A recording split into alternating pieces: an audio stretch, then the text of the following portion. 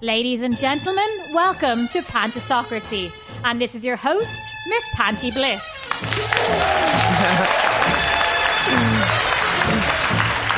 There's nothing I love more than a fake welcome. Thank you, thank you for that very festive greeting, I guess. Um, I guess today I'm more Panti Claus than Panti Bliss, um, as I welcome you here to our special Christmas edition of Pantisocracy. But like all the other editions, we have a well, a wonderful selection box of guests for you that I'm sure you'll enjoy. You get you. Never mind. um, and um, well, today really on um, Pantisocracy, our sort of parlor of conversations, I want to talk to our guests about a couple of things. Um, in particular, I want to talk to them about the idea of home, um, which is of course very much associated uh, with this season. But I want to talk to them about home as the place that you come from and remember, but also maybe the, uh, more about the idea of home. Um, because I think, um, and if I can say this without sounding too much like Dorothy, uh, home is really as much about you know what we take, carry inside of us as it is sort of a physical place. Um, but I also want to talk to them about the idea of being outsiders, because certainly for me anyway, I've always felt that the Christmas story is kind of the ultimate outsider's story. Um, so anyway, so let me first uh, introduce our uh, guest to you. First of all, um, we're going to start here. Uh, we have, um, well, he's a storyteller, but he's a man who tells stories through pictures, really more than words. Um, Oscar-nominated Lenny Abrahamson, um, who, of course, uh, his uh, adaptation of Emma Donoghue's novel Room is still piling up the awards. And I suppose for Lenny, uh, growing up in Dublin, this season was more Happy Hanukkah than Merry Christmas. Um,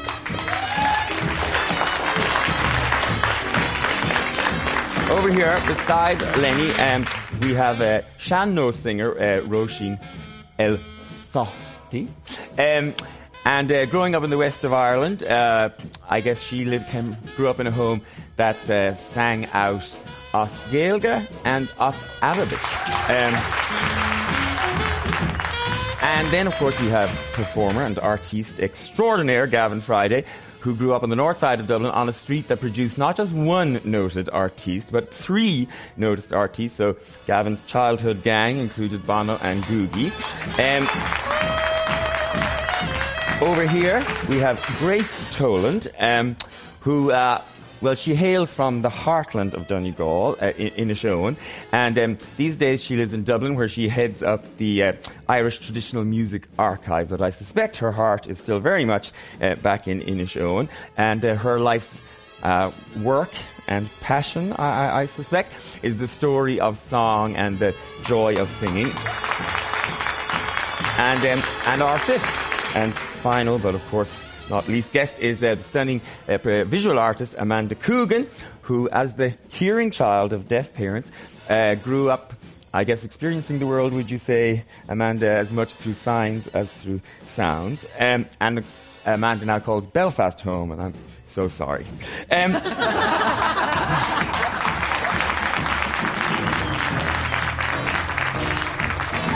But before uh, we get, you know, move on and go anywhere, um, I get to start things off with what we call the Panti monologues because, sure, why wouldn't we?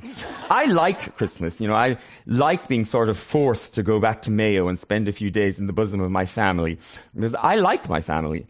It's comfortable for me to go back and slip into my part in a big family, you know, amongst the people who've known me the longest and the ones who will still love me even if I do something to stop them liking me. But I didn't always like Christmas. Uh, Christmas used to make me feel my difference or my outsiderness more acutely. You know, back in the 1970s, you know, when times were very different and most gay people left the small places they came from to find other people like them, uh, the writer Armistead Maupin famously said that gay people had two families, their biological families and their logical families. That is, the families that they were given and then the ones that they chose and made for themselves out of people that they could be themselves with. Because often their biological families weren't always a comfortable place to be themselves. And there was a time when I was younger that going home for Christmas made me uncomfortable. I'd have to hide myself again, not so much from my family, but from my place. You know, Christmas made me feel like an outsider.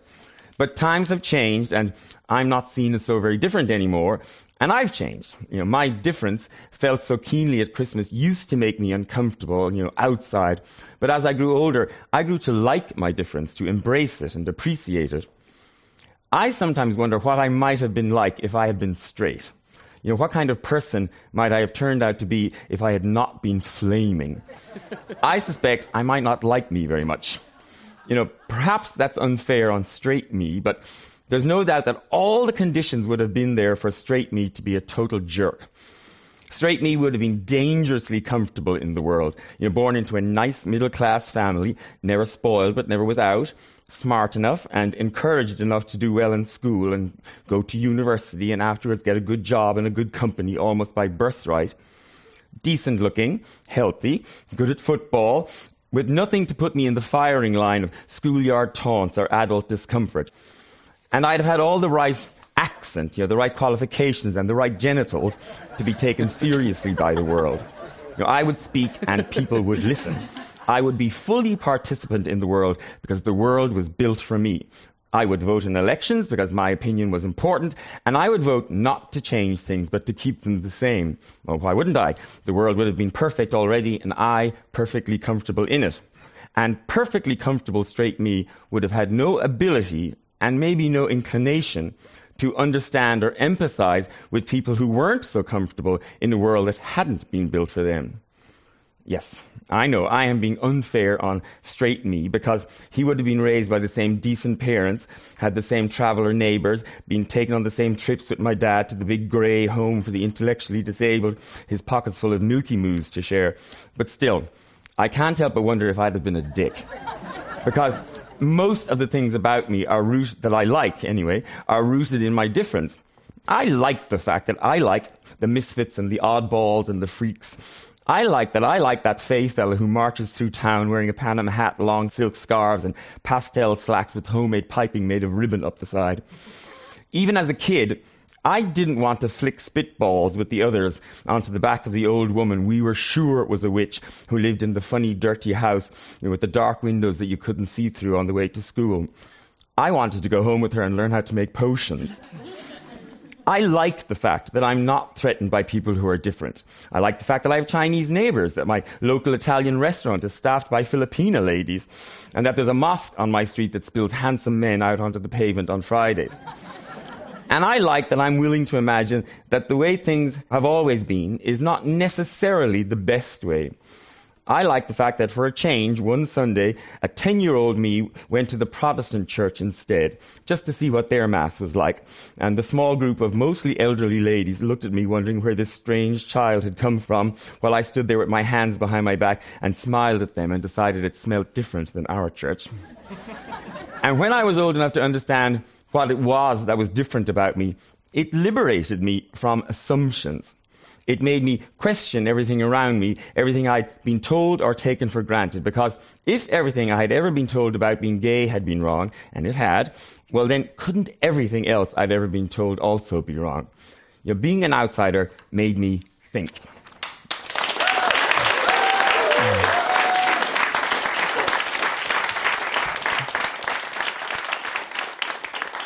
Well, I, am going to start with you, Lenny, since you're here beside me. Yeah. So tell us a little bit about, about growing up in Dublin, because Lenny, you grew up in a in a Jewish family, so immediately that sort of marks you out as, as, as an outsider, even though in other ways you were very comfortable. Yeah, I, I, what you said in your monologue resonates with me very definitely because I, on the one hand, had a very privileged, very good, very conventional upbringing as a middle class South Dublin boy. The Jewish kids used to go to Protestant schools in that kind of let all the minorities stick together spirit. Um, so I went to Protestant school, which played, it was private school, played rugby. I wasn't good at sport or anything, but I was, uh, it was a place that you felt like, I felt like I belonged in lots of ways. But then on the other hand, yeah, I, I, came from a totally different background, very tiny Jewish community, maybe 1,500 people, not religious, but very traditional. Yeah. And my dad's side, it was all doctors, and my father was a very successful lawyer. And then on the other side, my mum's family had come more recently from Poland, and my grandfather had been a kosher butcher on Clanbrassil Street, and having before that had worked in a glass bottle factory in Ringsend, had come here in the 30s. So, um, Come here from. from well, he made his way out of Poland at a time of really sort of a lot of instability. Recently, been thinking a lot about the 30s for some strange reason, but uh, yeah. So he came when Europe was this collection of nationalistic independent states and we may well be going back to that now he came through a bunch of countries got picked up jobs eventually got working in a factory in Antwerp which opened the glass bottle factory in Ringsend. He came over to teach the workers to use the machines and stayed. So yeah, So he was a skilled worker. He wasn't a refugee. he wasn't a refugee. war. On the other side, I think they were. My father's father came here turn of the last century as a, a small boy.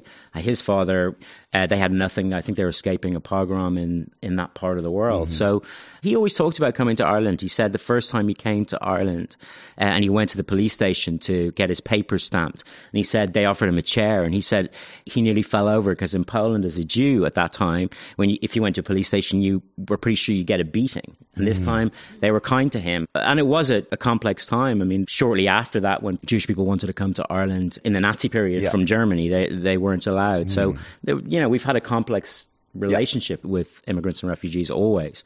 But he had an incredibly positive sense of Ireland, of what it had given him, and same as my other grandfather and grandmother. So, but yeah, for me growing up, there was this feeling of difference and belonging at the same time. Mm. And and I feel incredibly connected to Ireland. It is absolutely my home. I've resisted all temptations to live elsewhere mm-hmm. and, and continue to and will continue to. Uh, but at the same time, I think it gives you a, another perspective. Uh, funny, I was thinking because there's talk of the next Pope's, Yes, oh, this Pope's yes, visit yes. Uh, and 2018. 2018. And I actually remember that was 79. I was 13. I had just done my bar mitzvah. And I was at home opening my bar mitzvah presents and watching the Pope conduct Mass in the Phoenix Park. And that didn't seem strange to me at the time. But yeah, it, it gives you a stereoscopic View on your society. You, you look at it, the three dimensionality of your picture of, of the place you come from does feed into your capacity to, to look at it freshly and to identify with other people who don't really fit. Like, did you feel like you were missing something, or you know, it didn't mark you out. Yeah. You were sort of exotic. And I do remember regularly the conversation that you would have is, what's your name? Lenny Abrahamson. Oh, that's an unusual name. Where, where are you from? And I'd say Rathfarnham. And they'd say, oh, you know, but where are you really from? And then you get yeah, into this yeah, yeah. conversation.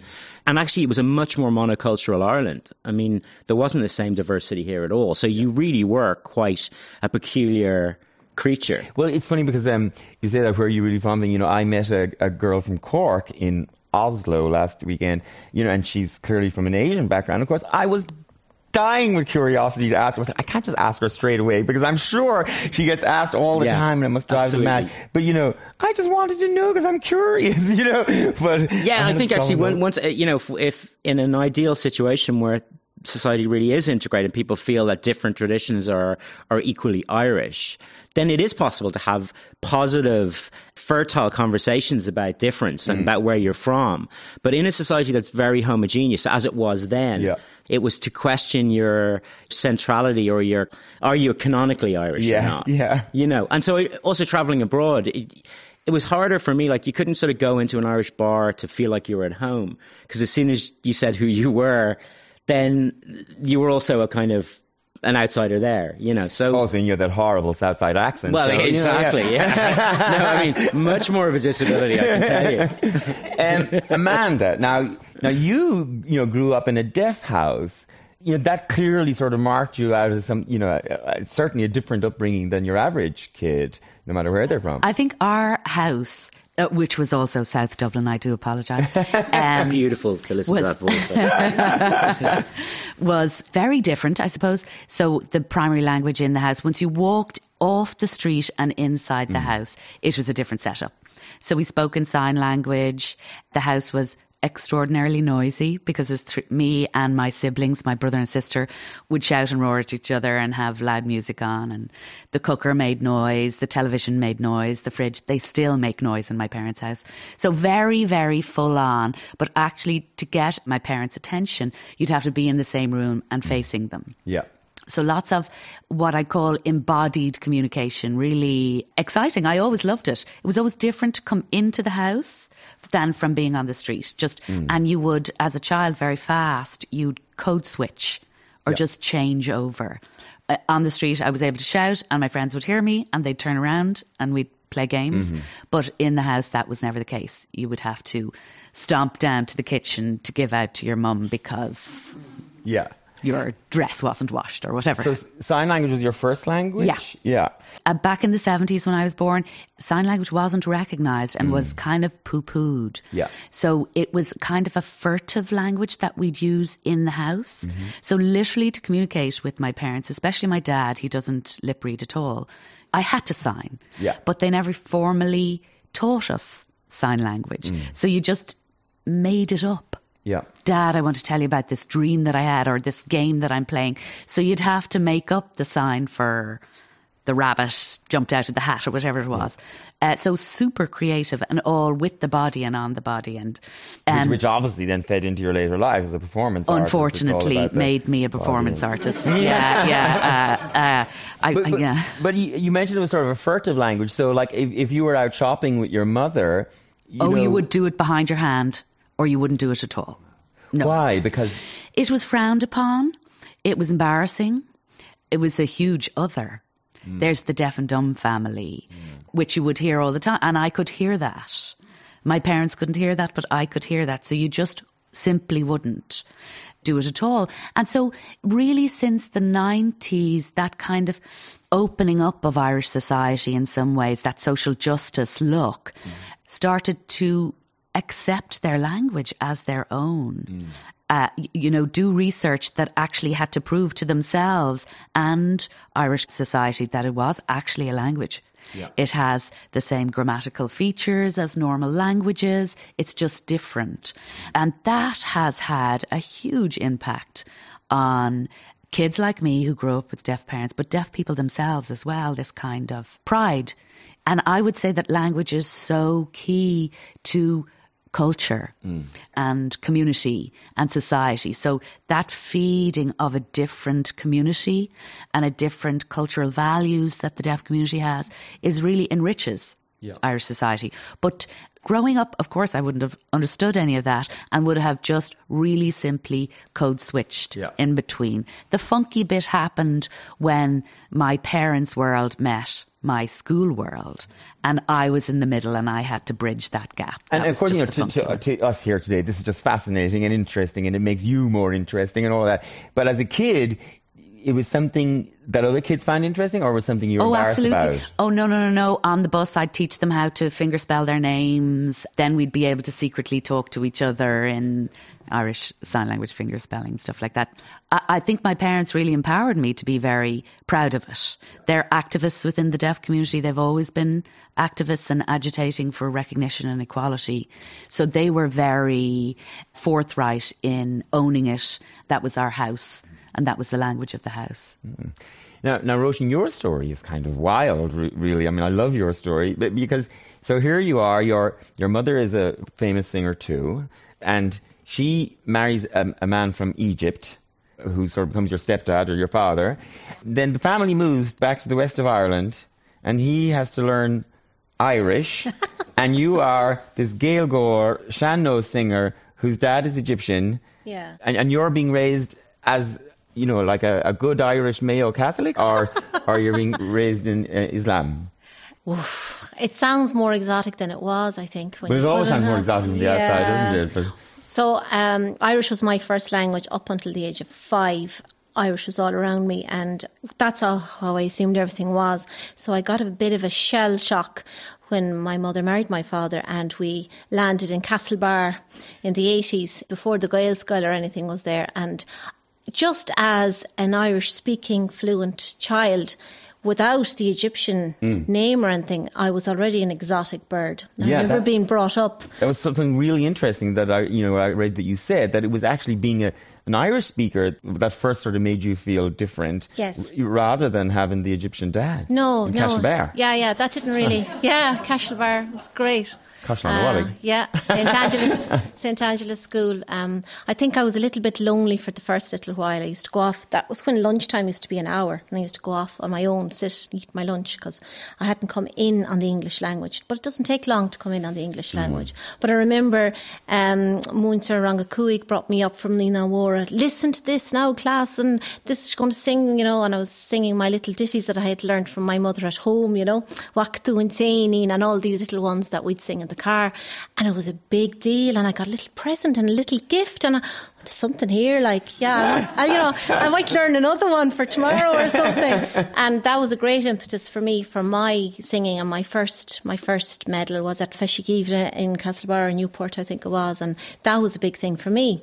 So the whole Egyptian thing didn't really start coming in, I suppose, because I did my Holy Communion, my first Holy Communion, and I remember Sunday mornings and rushing off and getting my shoes and putting the polish on them and getting it up on my white socks, and my mother, come on, you don't need the polish on your shoes, and I'm like, but I need them shoes polished, and I have this conversation in the car, and I was saying, why doesn't Daddy go to mass, Swami? You know, and oh, he just doesn't believe Jesus is the Son of God. And I thought about this and I, just, why doesn't he believe? Wouldn't life be so much easier? It'd be nice to go together. I was, it all seemed so simple.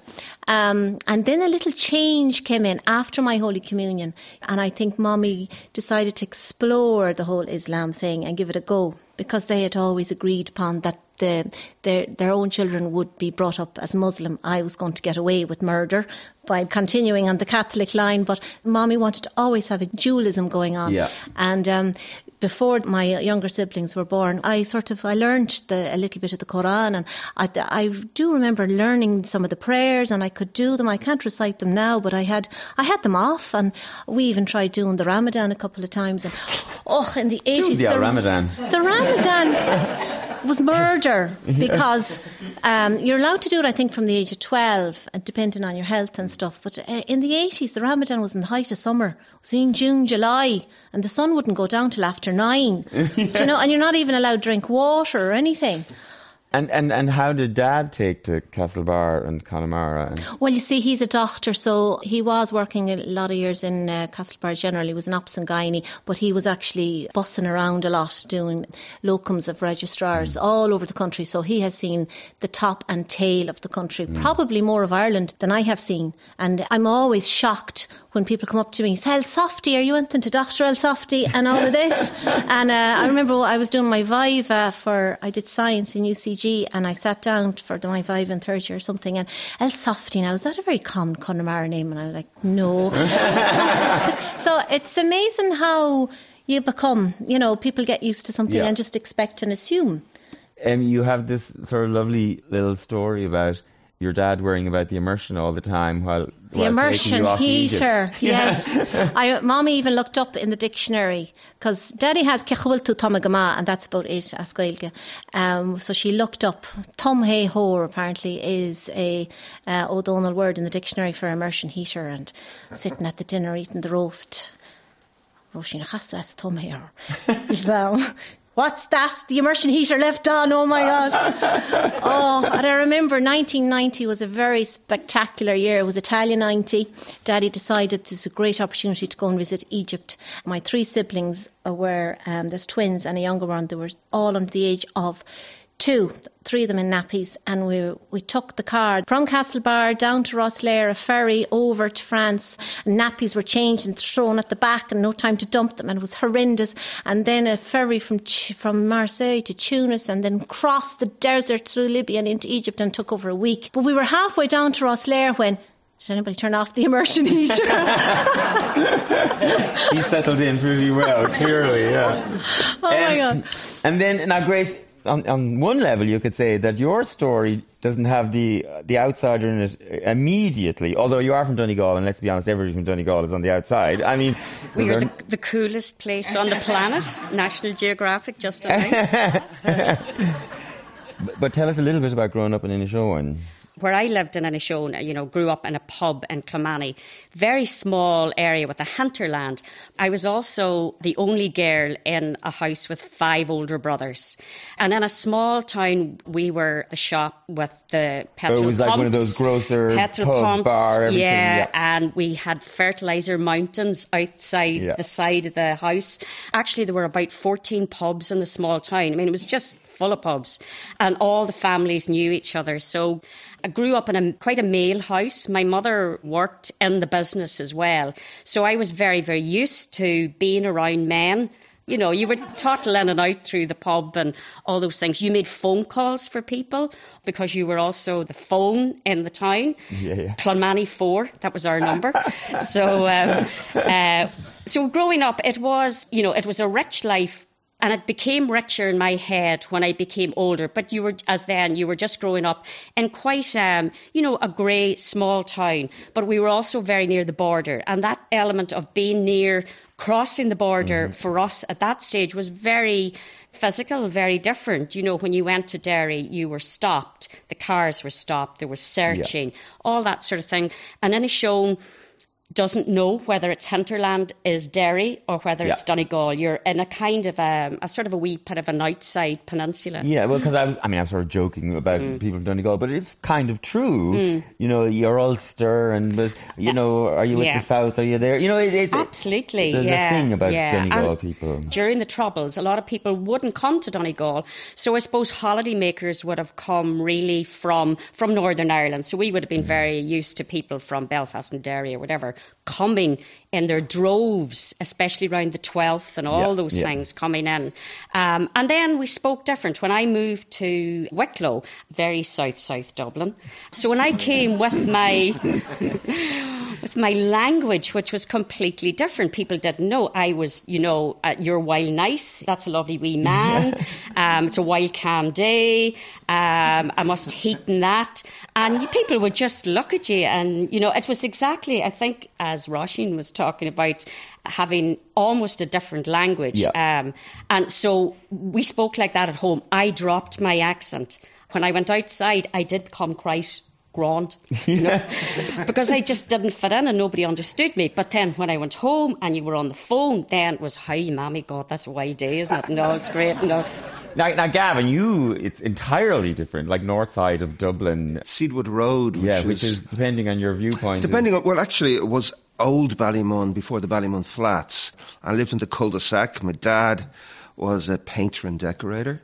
My ma was a dressmaker and uh, I was the eldest of four boys. Mm. My dad was basically the world revolved around Dublin, GAA, Padraig Pearse, Eamon de Valera, and Charlie Haughey. It was, a, it was a, a, a, really Republican world we grew up into.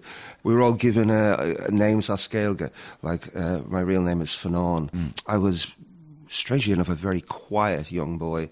Uh, I made up for that as I got turned into my teens, but I just didn't click with my dad and the whole sort of uh, macho uh, football, Boy Scouts, blah blah blah. It just and the schools I was sent to were very much that, mm. basically religious based, sort of nuns and then the Christian Brothers, and it was pretty horrible.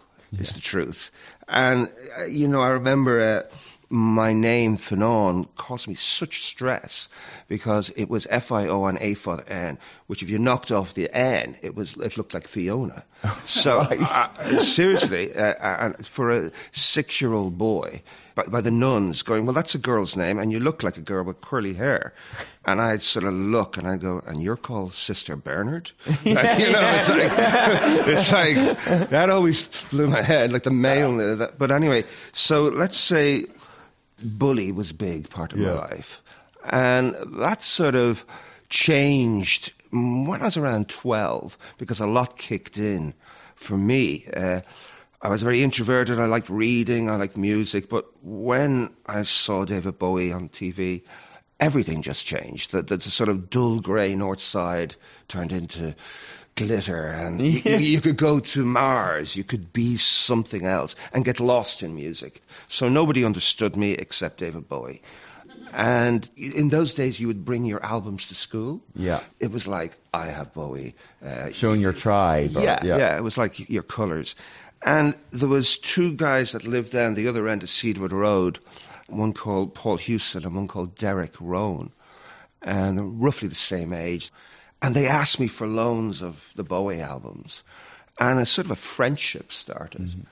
And in retrospective, how that became really important was we sussed that we had very difficult dads. So this suddenly became a little tribe. And as young kids, you give each other nicknames. And we invented this world called Lypton Village. which is it's not that rare. Like a lot of kids do it. So I became Gavin Friday for numerous different reasons, and the names were more to do, were given literally before any bands happened. I mean, you, you say it's not that rare, and it's it's not that rare for kids to have a nickname, but Yeah. it is it is relatively rare for a group of kids to create a whole other world that they give it. You know, they call it Lypton Village, and Mm-hmm. to me, it sounds a bit like you know kids nowadays where they create these worlds in computer games and get lost in them. So you literally transformed everything by renaming everything. Yes, and you know the outsider thing too. The cul-de-sac part of Cedarwood Road was Catholic, and the other part of Cedarwood Road was Protestant. But Guggi, the Rowen family, were Plymouth Brethren, which is? Plymouth Brethren, which is sort of makes the Quakers look easy. As my dad, my dad says, well, those Plymouth Brethren, they were so bad they were kicked out of Plymouth. So it's like it's really hard, hardcore. Women can't wear makeup, no contraception, really hardcore. Hence, Guggi has about nine brothers and sisters, and and Bono was half Protestant, half Catholic. So the three of us felt odd and we gravitated to each other. And music was the lifeline. And in those days, Dublin was a lot more aggressive than it is even now. The north side Dublin was pretty working class and, you know, there's the skinhead and boot boy thing was huge. So if you looked anyway different, you got your head kicked in. So creating the world was really joining the circus. Get away from. We don't want to stand at the shops looking for odds. We hate football. Uh, we, we just want music, and it was a little like a little sort of veil we put around ourselves to get away. And how did your dad feel about, you know, having a son who was wandering around in big boots and a, and a skirt or whatever you were wearing at the time? Not, not, not too happy at all. But, but the t- truth was, it was strange when that when that kicked in. W- Obviously, it was Bowie connected because of his androgyny mm. and clothes. I looked more like Rasputin. You, did, you didn't know is that guy going to kiss me or kill me? But i you know, my dad died about ten years ago. And when your dad leaves, you get a different perspective of your Yeah. of, of your relationship with your family when you're older. And I go, Jesus Christ, I was hard on him because I was like that little kid, the omen. Just like, no, I will not go to the scouts. Uh, if you go to the scouts and made go to the scouts and save up all the money to get the uniform and then you're made and the scout oh I see the Hanvey boys have their uniforms now. If you ever lose that toggle or a hat uh, you won't you'll be kicked out of the scouts and you go great idea. So the scissors came out toggle so it was this thing and he was just didn't understand me and heartbroken that I was just so but you know, the godsend is I, I made up with him uh, Yeah. just before he died, but it, it was tough. He, it was a very tough relationship, my dad and me. And in some ways, looking back, do you think that sort of reacting against your dad has has been a sort of a, an engine for you know what you've done with your life? Absolutely. Uh, not just dad, the, the sort of the conservative Catholic Ireland we lived in, the being put in a box, the whole thing. Absolutely. Let's have a break for some music. So, Róisín, why don't you, uh, you go first and uh, tell us a little about what you're doing? Well, I decided to go with this prayer called Within Rost. Um, there was a sad story. My first cousin died a few days after being born, and I think it was for her month's mind. My mother was looking for a song where suitable for a baby, so she thought of this prayer because it mentions uh, Gordon and Angel, which is the the guardian angel, and um, the music came to her, which seems to be how she composes. It just um, hits her like a ton of bricks all in one go and she goes with it. And she sang it at um, her funeral and this is over 20 years ago. And then she taught it to me. So within the rost. I hope you enjoy it. I, I'm absolutely sure.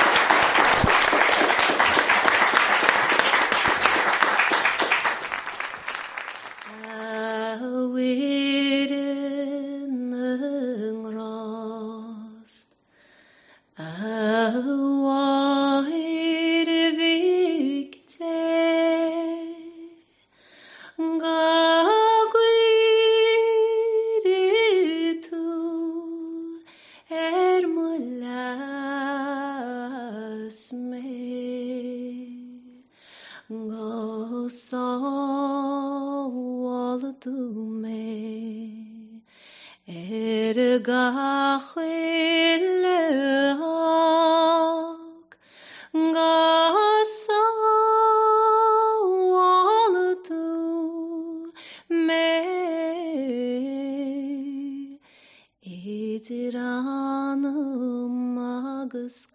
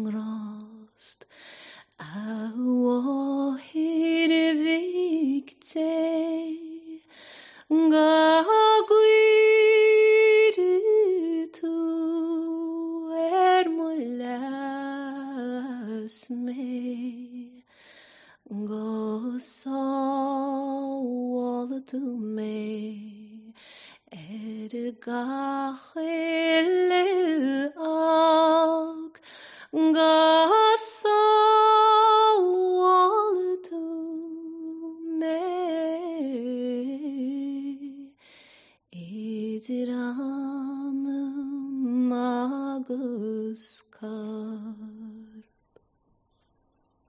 Beautiful.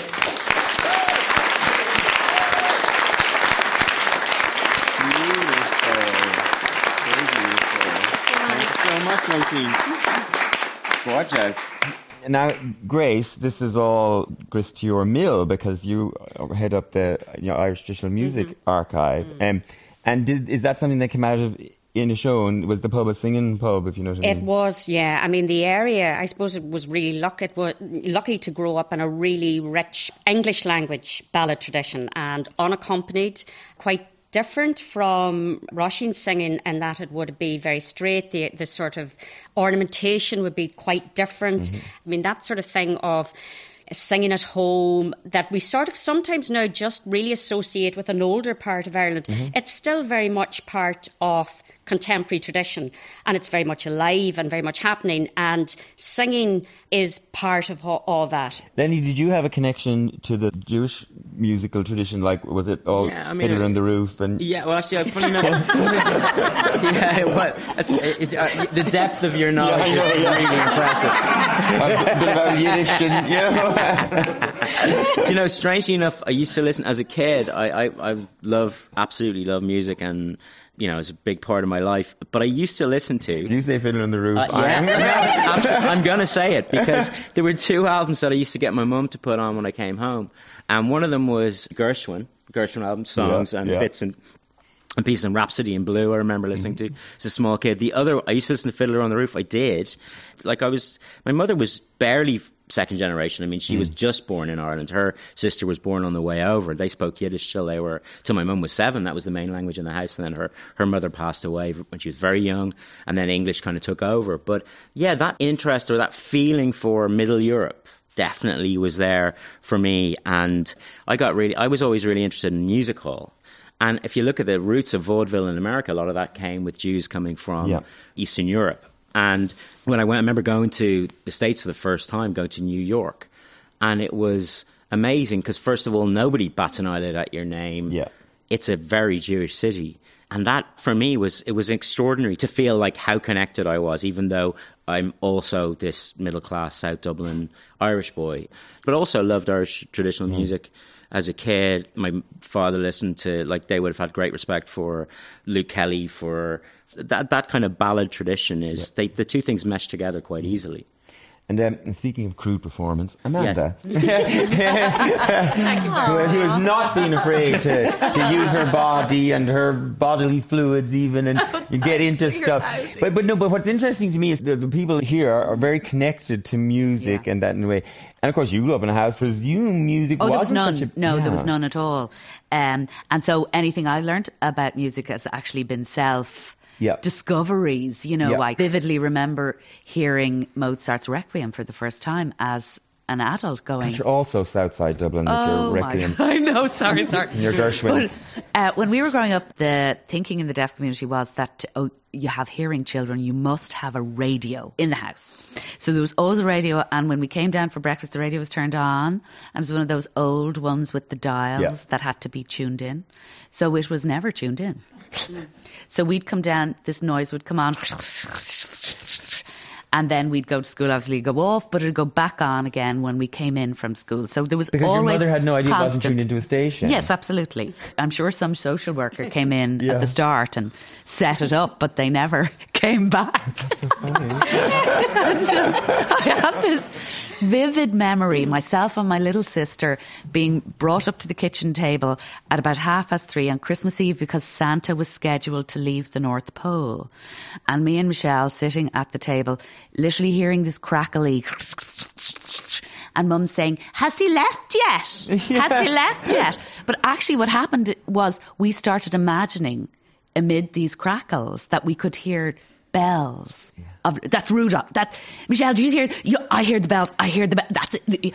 And so our creative space was just opened up by this crackly radio. and it was years later when we got a babysitter, and she literally just came in and spun her finger over the dial, and all of a sudden, boom, music, pop music came through, and it was because clear you and it didn't was understand clean. the concept of channels, and so you never thought to change it yourself. You know, as a ch- no, never even realised that she, that thing. It was it was just a total. You know, the fridge make noise. This box in the Make corner. noise. Occasionally, there was kind of voices you could make out, and then it'd just go off again. So, no, absolutely not. They think children are adventurous. We're not. It's just They whatever take it as you the soup that comes into the world, you just take it. now, um, Grace, a lot of uh, Lenny's films are about somebody whose life is continuing on, and then something happens that's sort of a huge intervention and changes things. And maybe from the outside, traditional family and Inishowen and the pub, and it all seems, you know, unlike some of the others who have something very obvious about them that would have marked them as an outsider. In yours, it's one of the, it's the classic case, isn't it, of most people that maybe it's one spectacular, if I can use that word in this horrible case, event that makes you suddenly feel Absolutely. And I mean, straight up in August 2012, my youngest son, uh, Dermot, who we call Jeremy, um, committed suicide um, at, at age 17. So our world as planned, thought, um, just spun on an axis. Yeah. Um, I mean, it is everything that you don't want to think about in life, nor anyone should. I would think now you wouldn't wish anybody into the shoes of ever even having to be in the place that we ended up in as a family. So you wake up and you get a phone call and the world changes. Yeah. Actually, when Gavin was talking about his life and about the way he looked, um, Dermy would have been very similar in terms of wanting to look different and be different to the world. And he used his looks as well. He was quite a good looking young man, very popular, but, you know, he had issues with the world. There were a lot of things he was angry about um, and about the way the world was asking him to behave at school and, you know, things like that. So he would have been quite pierced pierced, a lot of piercings, a lot of tattoos, which at the beginning drove me nuts. The first piercings were just the ears, and that Yeah. was grand. And then he'd push it a bit more, and then it was the eyebrows, and then it was the cheeks, and the you know everything was pierced. And his big party piece was like drinking Seven Up and then squirting it all out through all the, the different holes that he had in his face. Um, but he loved his hair, his hair. And when I was saying to you, I just thought he was magnificent. He had a mohawk that was, at, you know, we're talking a two foot mohawk that was dyed blue. Now, he could only be that person at the weekends. And he had that life with his friends and similar people, played music. Music was really important to him. But he was troubled. You mm. know, he, he found things he railed against education, he railed against what was being laid out for him. And unfortunately, we couldn't get through to him. We really tried. We knew he was having problems. You know, he left school. Um, we worked. We, you know, you encourage and you take someone who has, looking back now, a mental health issue at age, you know, fifth, up to 15. You could have said his life was. We saw it laid out, beautiful guy, everything, the world ahead of him. But within a year, the world changed for him. Um, and at 17, he made a decision. Yeah. For us as a family, the only way we can in any way try to make sense of what's happened is to accept the decision he made on that night. I, we say we wish to God he had not made it. He had, you know, held off, tried to find another way. But on that night, that was his decision. And um, it mm. changed our world. It, you know, it changed us forever. And it will. It does change you forever. Yeah, and because it also, in a way, changes how people re- interact with you, doesn't it? You know, I, I mean, I guess the simplest thing, you know, you meet somebody, oh, and you're a mother, oh, how many do you have? It suddenly gets into this uncomfortable territory. I say, I always say I have two children, you know, and Ellie is, you know, my eldest daughter, Ellie, 23, and blah. And I have a son, Jeremy, and he's away. Because sometimes I can't bring that sadness to other people. It mm. really, really depends where I am at the time. Yeah. You know, I mean, if you're out for a night, you're the biggest downer once you say it, depending on the circumstances. But I will, he was there, he was alive, and we would not say anything other than he took his own life. I mean, it wasn't, we never wanted to cover it up or be. Mm. I mean, what was, I think, the saddest thing is that in 2012, Jeremy was one of 541 people who committed suicide. I mean, there are hundreds of people, there are hundreds of mm. families like us, but you know, you don't want to walk in those shoes unless you end up there. Yeah. And, and you- said this is your fifth Christmas without Jeremy, but mm. in a way, does something like that change, you know, the idea you have of, of home? You know, the kind. Oh, absolutely. I mean, the first three Christmases, we could, just couldn't be in the same house. So we couldn't be around all the things because the four of us, um, and we had our rituals around Christmas, which were great. Ellie and Jeremy dressed the tree, and we were a house that was not in any way conscious. You know, the way there were always neighbours who had silver balls on their tree one year, and that was red and all, and the, you know, you saw them, you know, all carrying in the lovely you know, uh, real tree. Ours was a plastic one that we've had for years.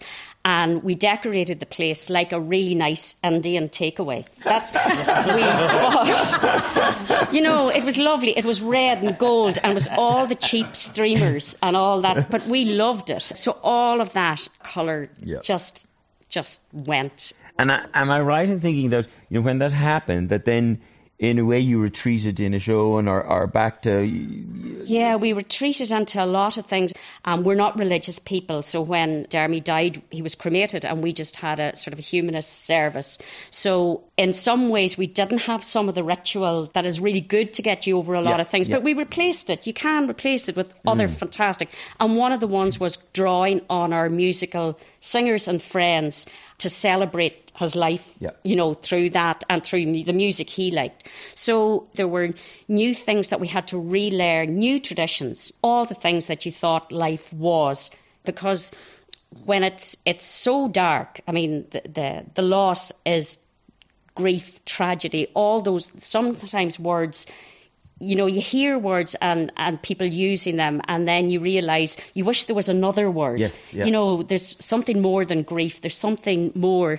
Um, but when those, when that happened, I think we looked to other ways of sort of finding some sort of peace when the whole world, the world is, is spinning around you. Mm. And yeah, I mean, those sort of quiet places of, of music and song really did help us Yeah. uh, and continue to do because I think it's one of the places that everyone should allow themselves. You should allow yourself to sing when Even if you're a bad singer.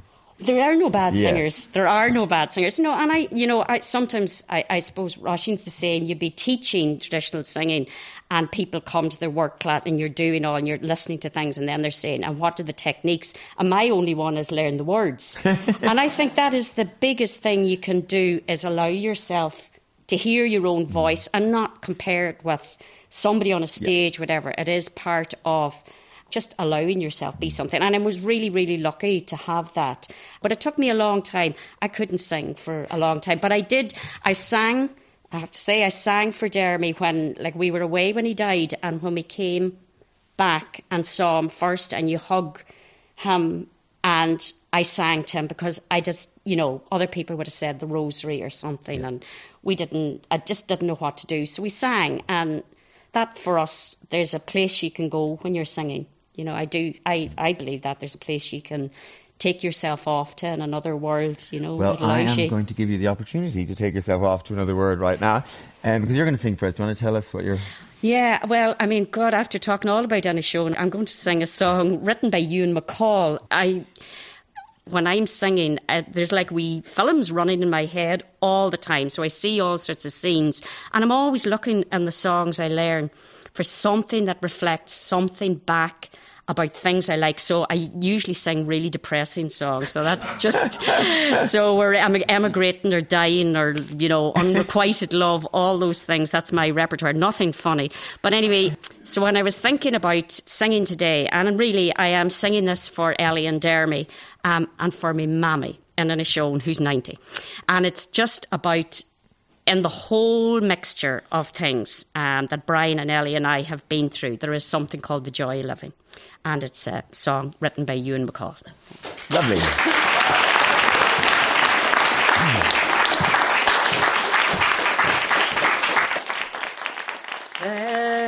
Farewell, you northern hills, you mountains, all goodbye.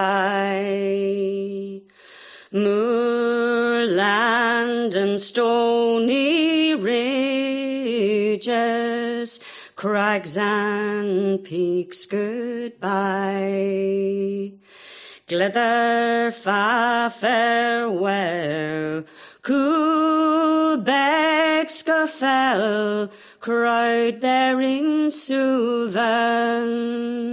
Sun-warmed rock and the cold, Bleaklow's frozen sea. The snow and the wind and the rain on hills and mountains. Days in the sun and the sheltering wind and the air likewise. And you drink and you drink till you're drunk on the joy of living. Farewell to you, my love. My time it's almost come. Lie in my arms once more until the darkness comes. You filled all my days, kept the night at bay, dearest companion. Days pass by and they go with the speed of birds in flight. Our lives like the verse of a song heard in the mountains. Give me your hand, love, come join your voice with mine. We'll sing of the heart and the pain and the joy of living. Farewell to you, my chicks. Now you must fly alone. Flesh of my flesh, my future life, bone of my bone. May your days be long, may your wings be strong, sure be your journey. Each of you bears inside of you the gift of love. May it bring you light and warmth and the pleasure of giving.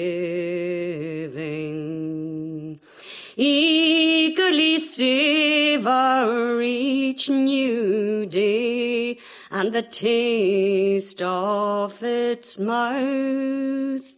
Never lose sight of the thrill or the joy of living.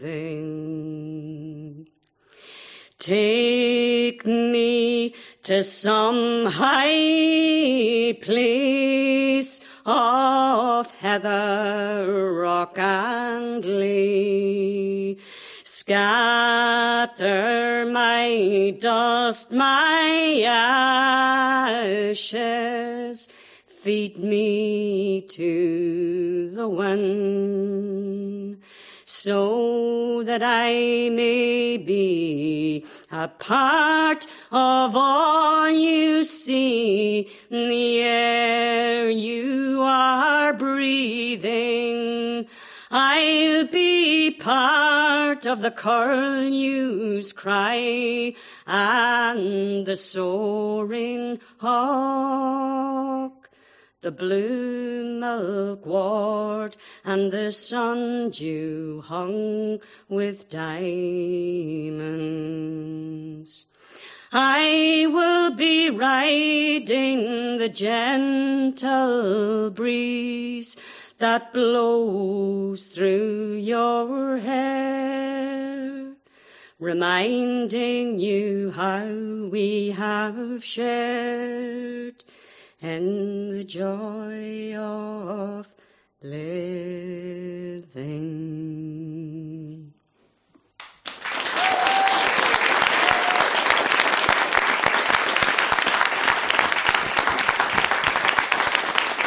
Thank you, Grace. Thank you.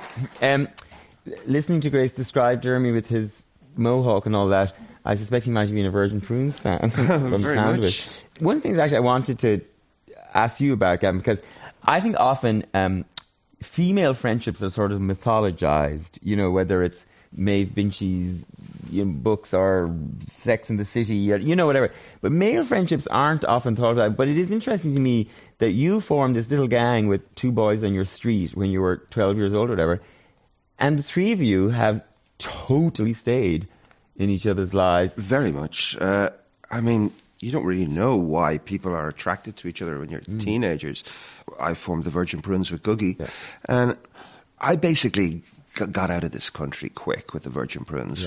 From like 79 till we broke up in 86, we were in Europe, basically, occasionally America.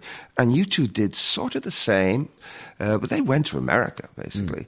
But when we all came back, like in the summer or at Christmas, we knew nobody but ourselves. Mm. So the gang mentality stayed. Yeah. And then we chose our family there. Yeah. We, so we became family. I mean, it's a little mafioso in a weird way because we actually have Sunday dinners where there's like 15, 16, 20 of us. Yeah. You know, But, but there's a sort of an acknowledgement in the culture that these kind of friendships are important or necessary almost to women.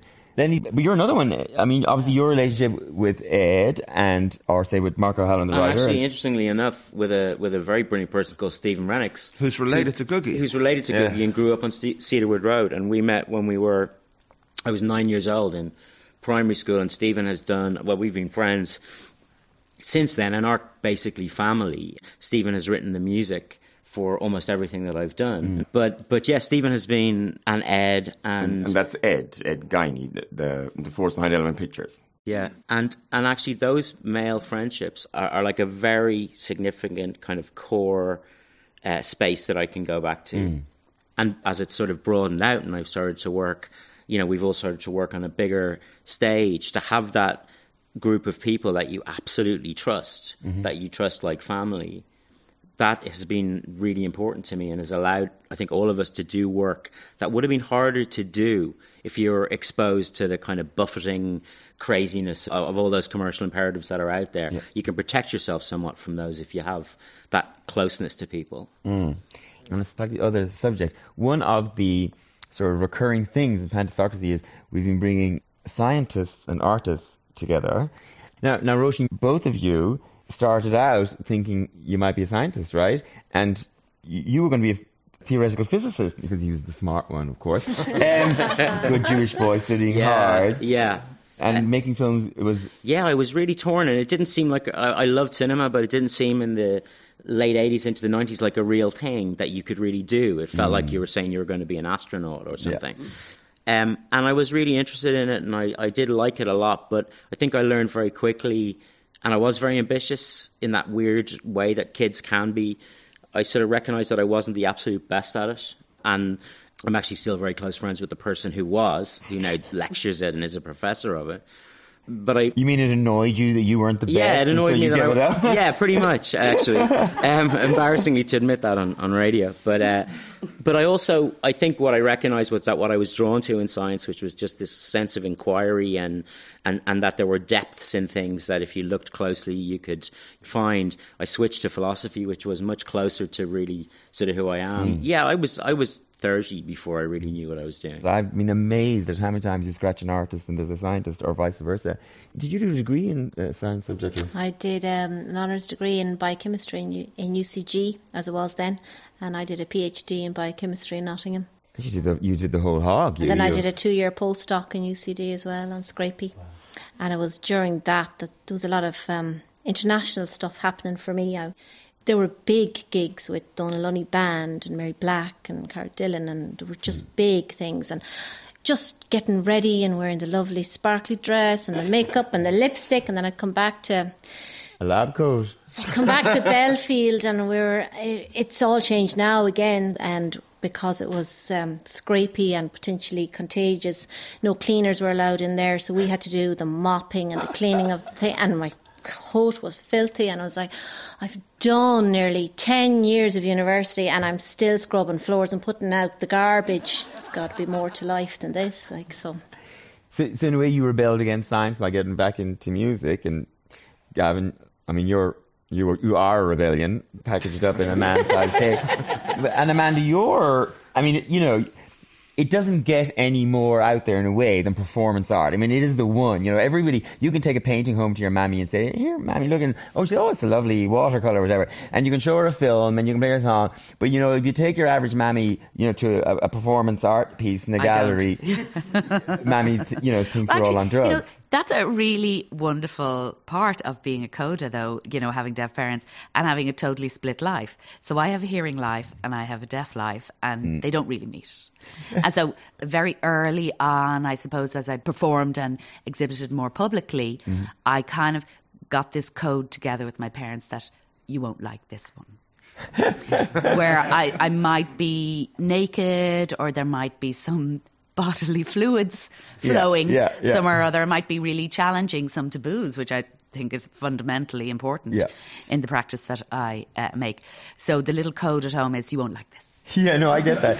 Uh, or if it's a nice photograph in the National portrait gallery Yeah. that's I'm fully clothed in. I'll say, "You love this now, Mum. Put on a nice dress," and she'd be thrilled, and they'll be absolutely thrilled. And uh, it's weird, isn't it? Because no matter who you are, you still have your parents. Oh, so, so you know, I want to challenge the world. I want to discombobulate everything except my parents. Yeah. Everybody else is fair game.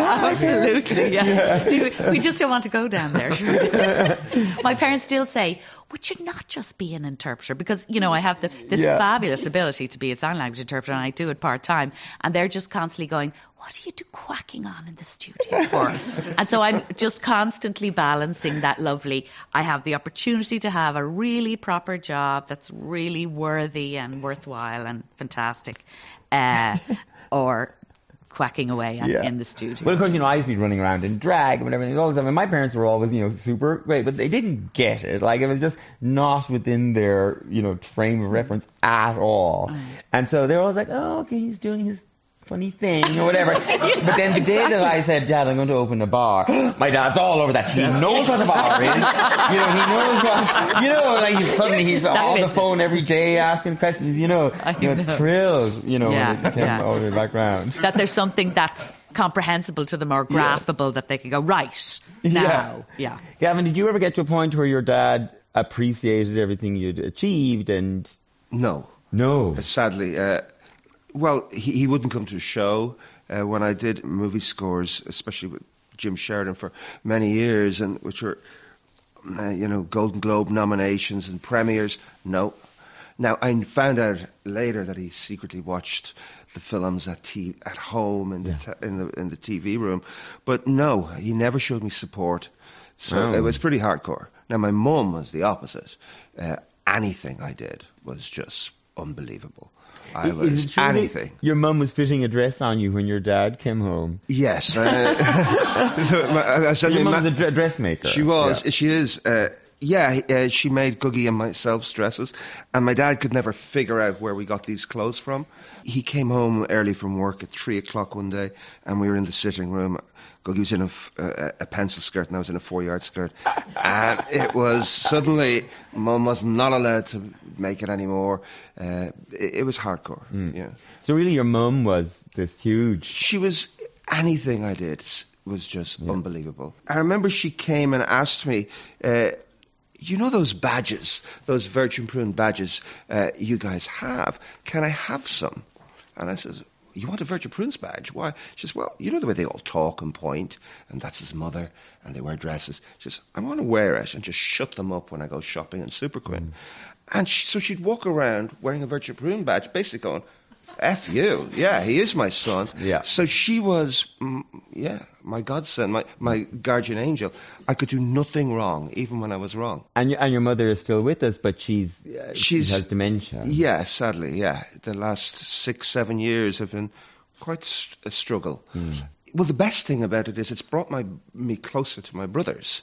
But uh, it's, it's a horrible, horrible disease. It's it's like the invasion of the body snatchers. Her soul is gone. She she hasn't doesn't talk now, and uh, it, it's just a soul destroying thing to see somebody go there. It's a really hard disease. Uh, but she's two years in a home now. And at least she's in a place where she's somewhere comfortable because the four years that we had a nightmare on our hands. And it really is tough. So I mean, and, and it's quite widespread. So uh, people that have gone through this, it is hardcore. Yeah. It's really tough. Um, Lenny, I wanted to mention that you, uh, well, expanded your world in a way by meeting a Polish woman. Yeah. You have a Polish wife, Yeah. and uh, you, you've learned Polish. Yeah, but strangely, enough, my grandfather came from Poland. He used to and talked all about it, and Yeah.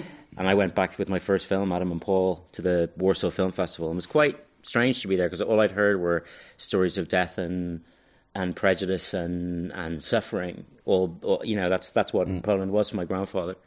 And then I meet this amazing woman who walked up to me at a party, having seen Adam and Paul, and she's very sort of passionate about movies, and she loved it. And she said, "I just saw your film, and you're a genius." And I said, I, s- married. I said, "Yeah, I actually did." I said, "I said I think we should get married." And then we had a good old laugh. And then two years later, we had a kid and we got married. And now we have two kids who are bilingual, Max and Nell. And I've learned Polish and I have Polish in-laws and I'm thinking about making a movie over there. And yeah, it's a strange circle that has mm. been completed in the last yeah, 10 years ago. Well, I will allow you to make your Polish movie once you finish your gay boxer movie, which I'm yes. absolutely obsessing about. Yeah, but we don't have time to go into it all, but there's an incredible story. Yeah. Um, uh, uh, anyway, Hopefully it's an next amazing year. story, and I. I, I so want to see that. Um, and, and your other connection, this is a weird little thing, because you also married a foreign man and brought him home to Connemara and made him learn Irish. Sasanach, yeah, from Yeah. Nottingham. Yeah. From Nottingham. Yeah. And how's his Irish? Oh, Iontach. Yeah, Oh. I mean he can um, he can talk to, to our three children no problem, but he's quite hesitant in a sort of a grown up environment. But as soon as we had our first child, oh, I, she was born in Dublin. I said I'm I'm going back.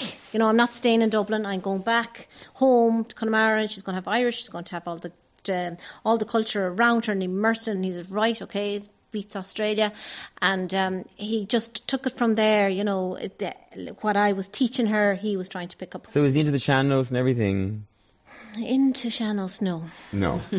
No, but That's a step too but- far but no, for Nottingham. that said, that said, I can't always say, sing them their songs, and he has sung them show in show and the like of that. Hmm. No problem. And has your beautiful wife done the thing of becoming more Irish than theirs themselves? Yeah, or- she definitely knows the country better than I do. She is a, a major tourer of sites of interest. It's a very Polish trait. So wherever you go, like we drove to Poland once, we got off the boat in France, we were in a church within half an hour of a 16 hour ferry trip, generally looking at the triptych. But yeah, she's going to learn Irish actually, because she's much better at languages than I am. She wants to be able to, like, yeah, and she's going to take Irish citizenship. Like Poland's gone very right in the last mm. while. Ireland's like this little oasis of sanity. I never thought I'd say that about this country, but, it, but it is in the middle of a of a Europe d- that seems to want to eat itself. yeah. So she's very happy to be here. Yeah. Well, I'm happy for you all. um, now, Gavin, you're going to finish up for us um, with some beautiful music. You want to tell us a little bit? It's uh, my interpretation of a sonnet by William Shakespeare. Gavin Bryars, who who's quite a, sort of that unbelievable. Uh, everyone should go out and buy Jesus' Blood and Never Failed Me Yet. It's a work of art. I'd met him over the years via Kate, who's pla accompanied me tonight on cello. And uh, he asked me to uh, reinterpret uh, musically a version of uh, Shakespeare's sonnet, one of them, under royal commission of the Queen, because Oh, it was 50 years excuse of me. Shakespeare's. I don't uh, remember being asked. What is it?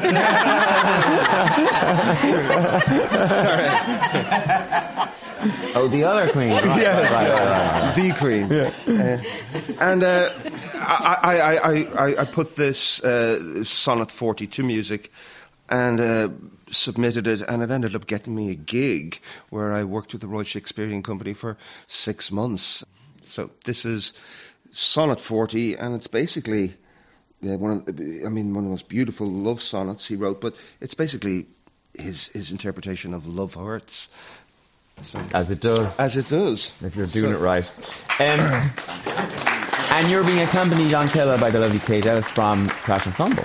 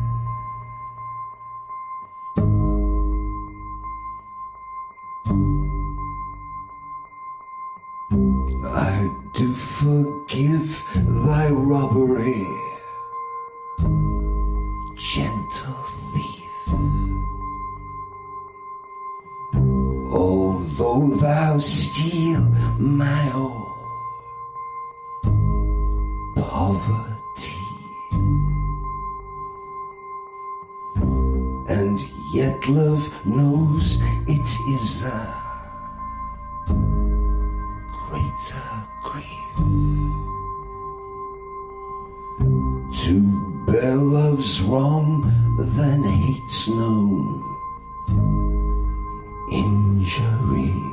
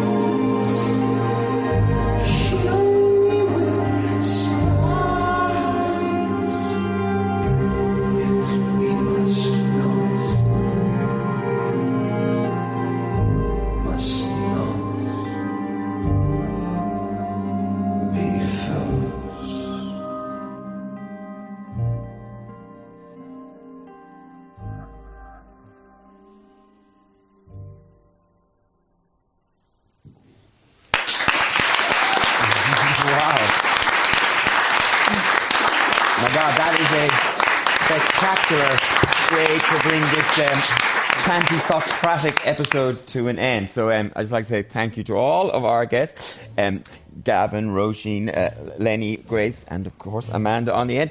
Um, and of course, thank you all for being here with us, and thank you for listening. You can catch all episodes um, of Pantisocracy on podcast, at the usual places, or you can go to pantisocracy.ie and listen to all of our episodes, well, all the episodes of this year. So um, thank you very much for listening. Happy Christmas and have a wonderful New Year. Thank you.